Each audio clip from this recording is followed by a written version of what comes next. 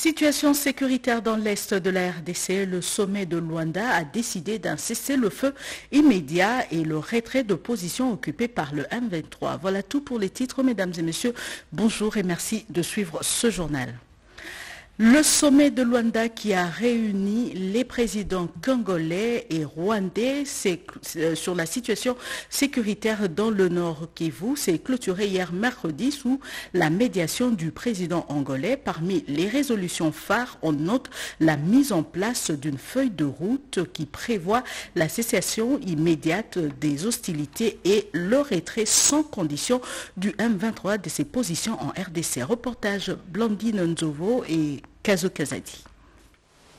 une rencontre décisive qui devrait marquer un tournant dans le cycle infernal de violence qui meurtrit les populations de l'Est de la République démocratique du Congo. La tripartite de Luanda sur la situation sécuritaire à l'Est de la RDC s'est terminée ce mercredi soir par l'établissement d'une feuille de route sur le processus de pacification de la région Est de la RDC. Tout commence par une rencontre à trois entre les présidents Joao Lourenço, Félix Antoine Tshisekedi Chilombo et Paul Kagame.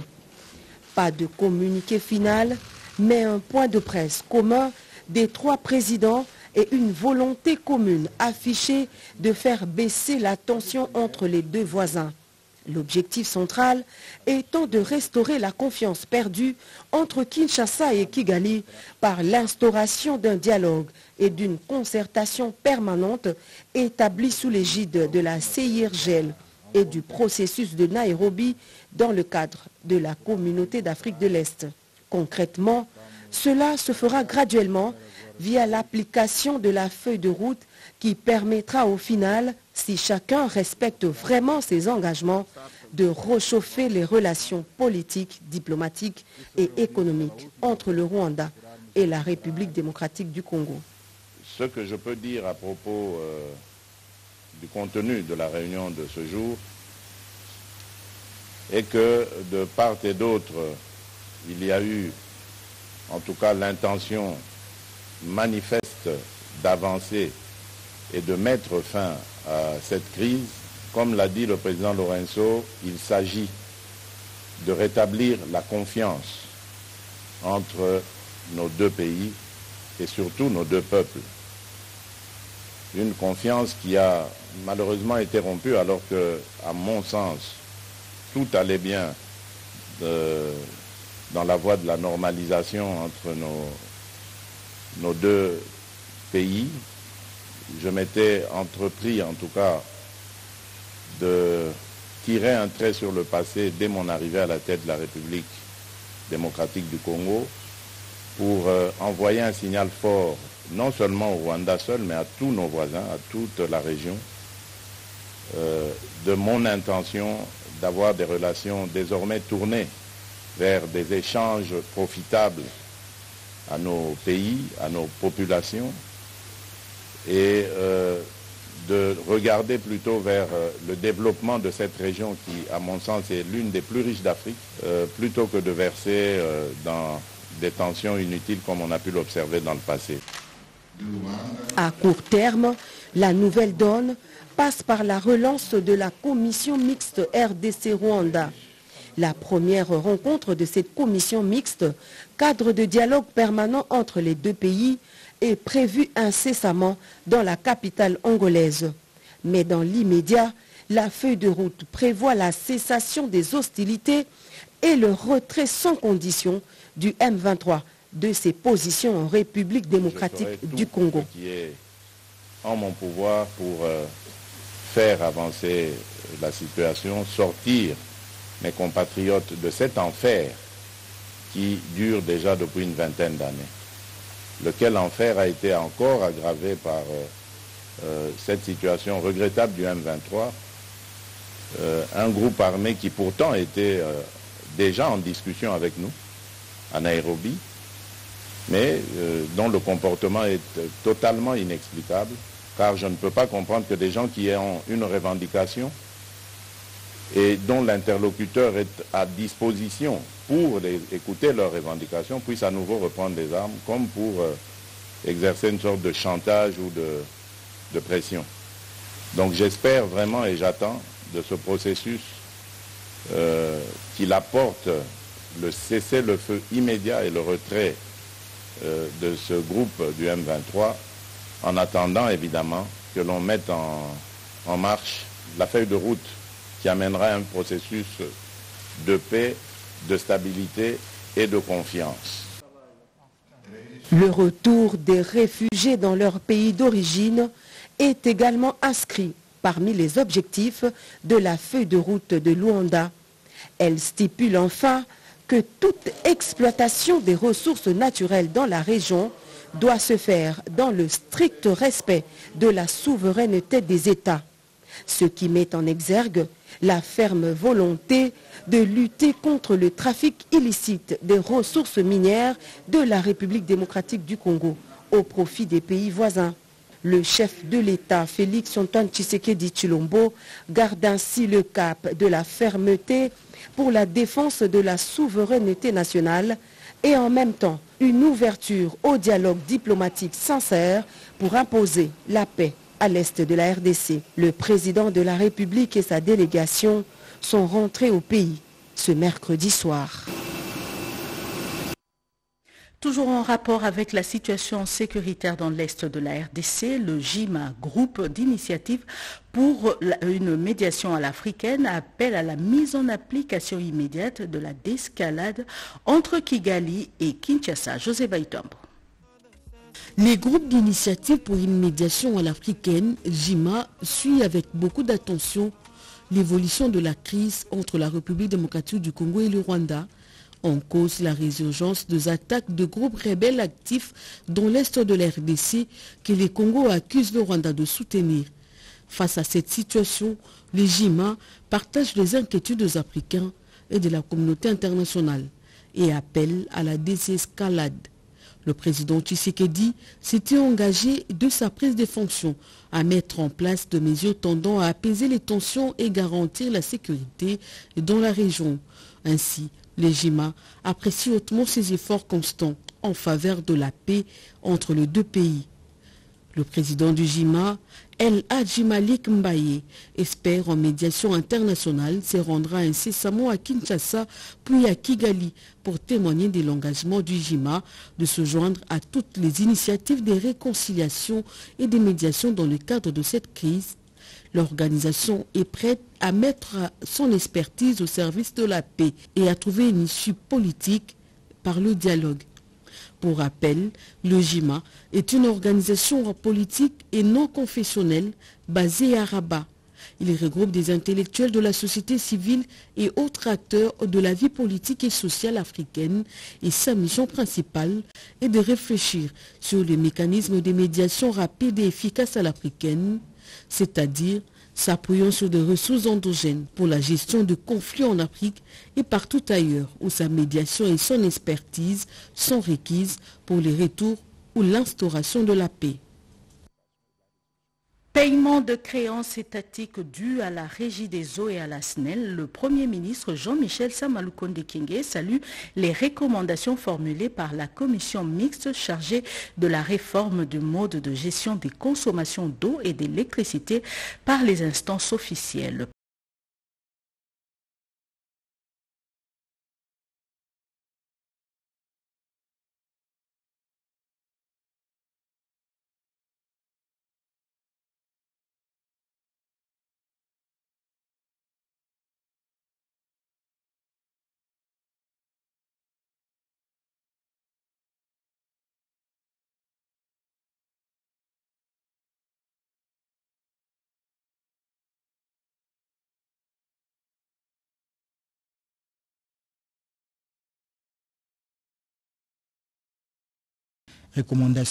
Qui rencontre la vision du chef de l'État, Félix Antoine Tshisekedi Chilombo, qui place les peuples au centre de tout intérêt.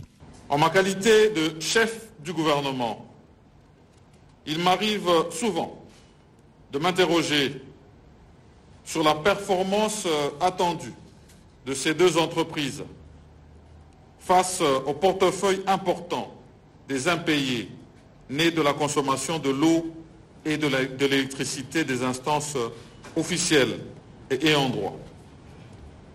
C'est à ce titre que j'apprécie à leur euh, juste valeur les recommandations de la commission technique mixte et encourage Madame euh, la ministre d'État, ministre du portefeuille, de poursuivre dans le même élan afin d'aboutir avec le concours euh, responsables du secteur et de toutes les personnes qui ont contribué à ce travail, à l'assainissement des finances euh, des entreprises euh, du portefeuille. Bien avant, la ministre d'État au portefeuille, Adel Kaïnda, a circonscrit les cadres de cette rencontre et a soulevé la nécessité et l'urgence de la signature d'un arrêté interministériel devant déterminer les critères d'éligibilité pour la prise en charge par les trésors publics des factures des consommations d'eau et d'électricité. Je reste convaincu qu'il s'agit là de l'expression irréfutable de cette volonté, défiant toute épreuve pour la recherche de solutions idoines aux multiples et épineuses préoccupations des entreprises du portefeuille.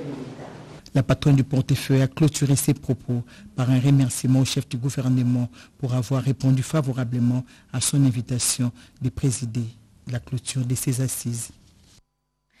C'est officiel, la réouverture du marché de Loufou à la frontière entre la RDC et l'Angola après un long moment de fermeture due à la crise sanitaire de Covid-19. La cérémonie a été présidée par le ministre de l'Intérieur, Daniel Acelo, et c'était en présence des autorités de la RDC et celles de l'Angola. Reportage José Baïtombo.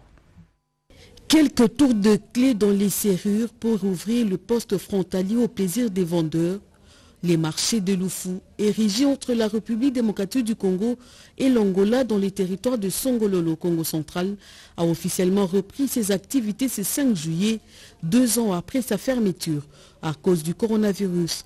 Le vice-premier ministre congolais de l'Intérieur et Sécurité, qui a présidé la cérémonie aux côtés de son collègue angolais, a indiqué que cette réouverture ne devrait pas donner lieu à des désordres. Un devoir pour moi celui de remercier leurs excellences Joao Lorenzo et Félix Antoine Tshisekedi, respectivement, président de la République populaire d'Angola et président de la République démocratique du Congo, pour le degré de rapport actuellement entretenu par nos deux pays, degré de rapport qui fait que nos deux peuples, Angola et RD Congo, sont rapprochés davantage.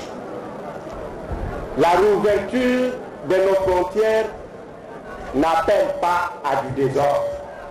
Au nom du gouvernement de la République démocratique du Congo, j'invite tous nos concitoyens à pouvoir faciliter la tâche à nos services de renseignement, de sécurité et de défense. Les deux peuples ayant de liens historiques, la rouverture de cette frontière va de nouveau booster les échanges commerciaux entre les deux peuples à travers notamment les renforcements sécuritaires de personnes et de biens sur ces lieux de négoces qui permettaient à toutes les couches sociales d'acheter à moindre coût plusieurs produits tels que le coût jetable pour bébé, le lait, la farine de maïs, l'huile végétale, les chaussures et autres. La frontière congolo-angolaise de Loufou n'est pas la seule qui rouvre à travers cette cérémonie qui a connu également la participation des gouverneurs du Congo central et du Kasaï et ceux de plusieurs provinces angolaises. Les activités reprennent dans tous les postes frontaliers partagés par l'RDC et l'Angola. Au total, 121 lauréats de la deuxième promotion du diplôme interuniversitaire André Panocitos ont reçu des mains de la première dame leur diplôme de spécialisation. Ce diplôme interuniversitaire est une réponse aux préoccupations relevées dans la prise en charge des drépanocytaires en RDC. Naïcha Kiala.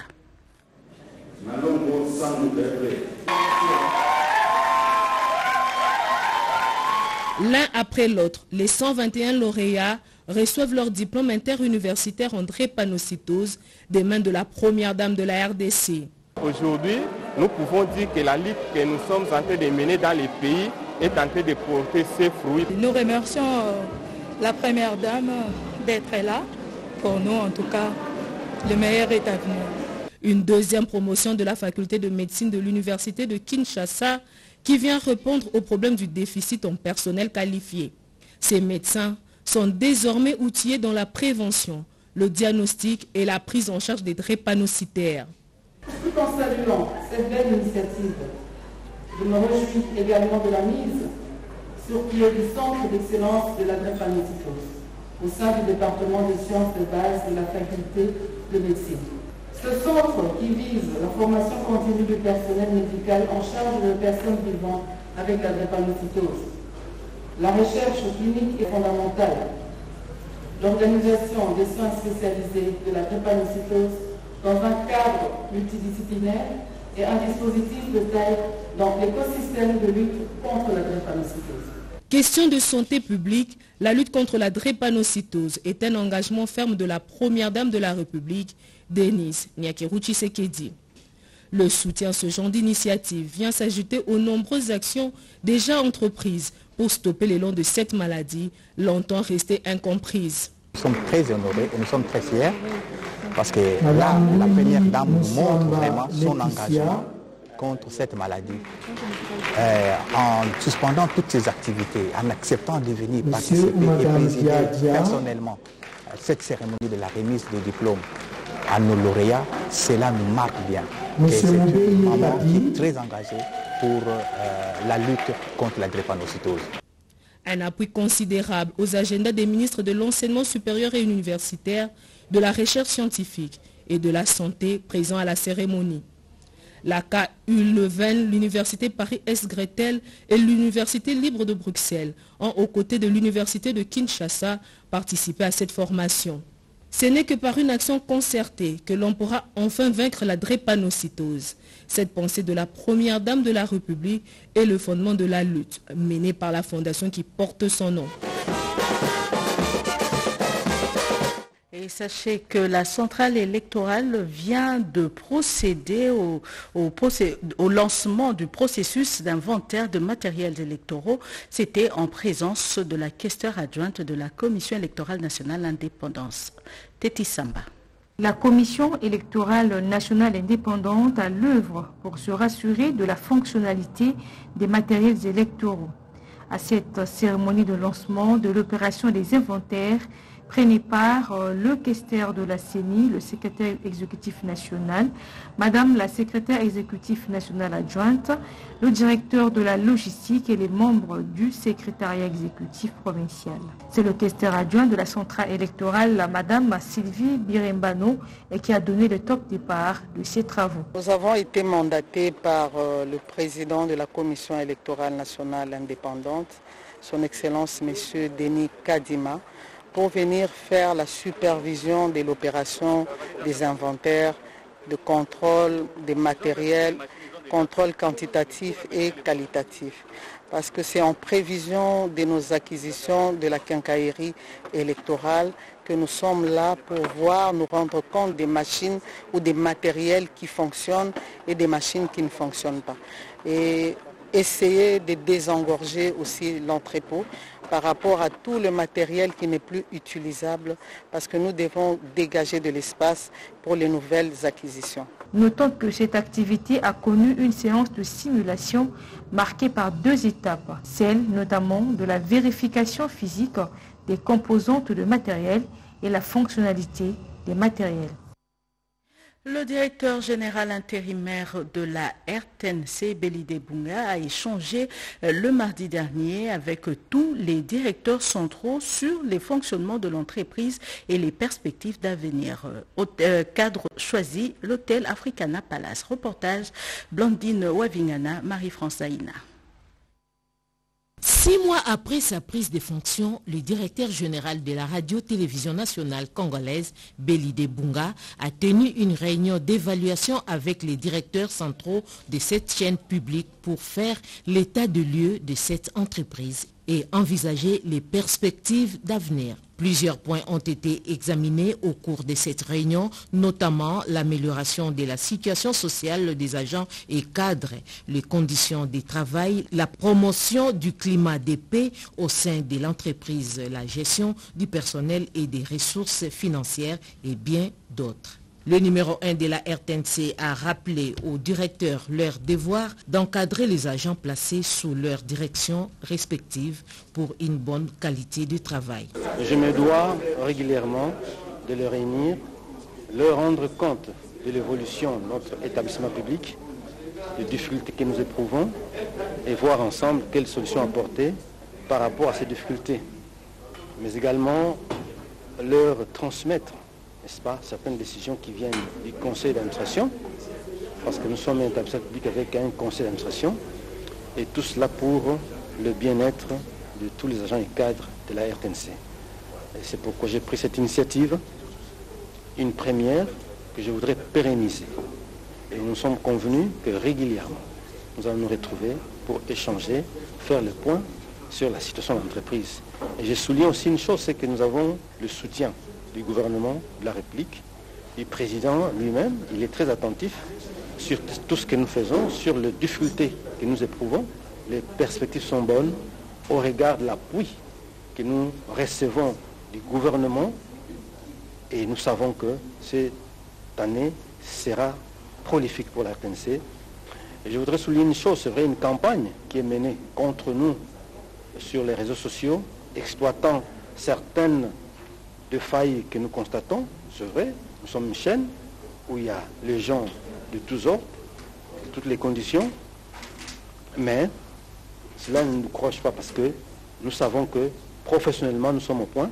Au cours d'un jeu de questions-réponses, les directeurs ont soumis quelques préoccupations au DG pour la bonne marche de l'entreprise, à savoir l'absentéisme et les retards des agents, les transports et les renouvellements de l'outil de travail.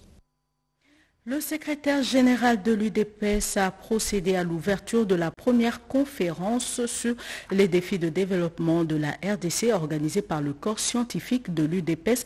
Pendant deux jours, ces enseignements vont identifier tous les programmes de la société et enfin faire des propositions pour le décollage de la RDC. Alain Bikaï. C'est une première dans l'histoire politique de la République démocratique du Congo qu'un parti politique puisse réunir des scientifiques formant un think tank pour réfléchir sur les défis de développement en République démocratique du Congo. L'UDPS, par l'entremise de sa structure informelle, les corps de l'élite scientifique de l'UDPS a tenu à associer toute la crème intellectuelle du pays à la recherche des solutions aux problèmes de la société. Dans son mode d'ouverture de ses assises, le secrétaire général de l'IDPS a appelé l'élite à travailler pour l'émergence de la RDC et non pas pour les dirigeants politiques avant de garantir à l'assistance de la disponibilité de son parti pour la mise en œuvre des résolutions issues de ses travaux.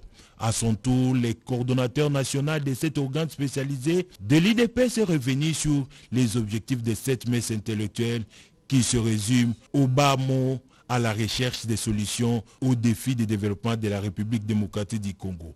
Ensuite, s'en est suivi les exposés des éminents professeurs et scientifiques. Le recteur de l'université de Kinshasa s'est penché sur les rôles de l'université dans le développement d'une nation. Le ministre puis le président Nana Manouanina Kumba a abordé la problématique des changements de comportements et de mentalités impréalables pour le développement de la RDC. La négociation des contrats des grands projet en République démocratique du Congo et les mécanismes d'incitation et de détection des Congolais avec coefficience intellectuelle élevée sont les sujets développés par le professeur Jean-Pierre Zourou et Raphaël Matamba. C'est le conseiller spécial du chef de l'État Alexis Kaembe et le professeur Jean-Marie Béat qui ont évoqué tour à tour les enjeux énergétiques et les nexus hydrogène de la République démocratique du Congo. Cette conférence a servi de cadre de réflexion et d'échange pour le décollage de la République démocratique du Congo. Le chancelier des ordres nationaux, le général-major André Moutou Tezoulois, était euh, ce mercredi face au chevalier de la plume. Au menu de cet échange, le fonctionnement de la chancellerie, les réformes initiées par ce service rattaché à la présidence de la République et aussi la mise en garde de la chancellerie aux organisations qui attribuent illégalement des médailles à la population. Reportage Félix Zaloumeti Dandou et Bobo Samba. D'entrée de jeu, le chancelier des ordres nationaux, le général-major André Matouté Zoulois, a circonscrit l'objet de la rencontre du jour avec le professionnel de médias. S'en est suivi une série de questions-réponses relatives au fonctionnement et à la mission de la chancellerie des ordres nationaux. Les journalistes ont également été tentés d'en savoir un peu plus sur les réformes initiées par le chancelier des ordres nationaux. Le numéro 1 de la chancellerie, très détendu, a rencontré les attentes des chevaliers de la plume la révisitation du cadre juridique, la transformation de la chancellerie des ordres nationaux en service d'assiette et les rayonnements de cet établissement rattaché à la présidence de la République ont été expliqués à la presse. Je me rends compte même plus loin qu'il y a une loi des finances, celle de 2019, qui fait de la chancellerie un service assiette, donc un service qui doit recueillir de l'argent à mettre au trésor public. Autre matière dans ce tête-à-tête, le dérapage constaté dans l'octroi de médailles par certaines organisations qui s'arrogent illégalement les prérogatives de la chancellerie des ordres nationaux. Une confusion que le général-major André Matouté-Zoulois dénonce. Le patron de la chancellerie des ordres nationaux invite également les associations affiliées à la chancellerie au respect des règles établies. La fameuse préoccupation relative à la décoration de mort n'a pas échappé aux professionnels de médias. La réplique du chancelier indique plutôt que son établissement a décoré plus de vivants que de morts dans une période d'une année, soit 5% des décorations à titre posthume sur 1007 décorations enregistrées. Et pour terminer, sachez que les jeunes de la province de Chopo soutiennent le nouvel exécutif après les élections. Dans une déclaration, ils ont appelé à l'intervention du chef de l'État pour que les fauteurs des troubles soient mis hors d'état de nuire. Ils sont au micro de Edith Chala. L'arrivée du nouvel exécutif à la tête de la province de la Chopo inspire confiance et la jeunesse veut saisir l'opportunité. Dans une déclaration, les jeunes de la province de la Chopo saluent la clairvoyance du chef de l'État, Félix Antoine Tshisekedi. Excellence, Monsieur le Président de la République, avec l'expression de nos hommages les plus différents, nous jeunes de la province de la Chopo, conscients de notre responsabilité devant la nation, nous vous adressons solennellement le présent mémorandum au regard de la situation déplorable que vit notre chère province. La province vit une situation chaotique caractérisée par le coulage des recettes publiques, les détournements, l'abandon des travaux de construction et réhabilitation des infrastructures, l'absence de toute initiative de développement, la multiplicité des discours séparatistes et des haines. Excellence, Monsieur le Président de la République, cette situation préméditée, voulue et entretenue ne poursuit qu'un seul objectif, saper vos actions et votre image pour empêcher votre réélection à la tête du pays. Convaincu que l'avènement d'une femme, Madame Nikomba Sabangu Madeleine, à la tête de notre chère province, marquera non seulement la concrétisation du vœu du constituant, mais aussi une rupture avec les antivaleurs ayant caractérisé les exécutifs précédents. À la gouverneure de s'employer rapidement pour ne pas décevoir tous ses espoirs.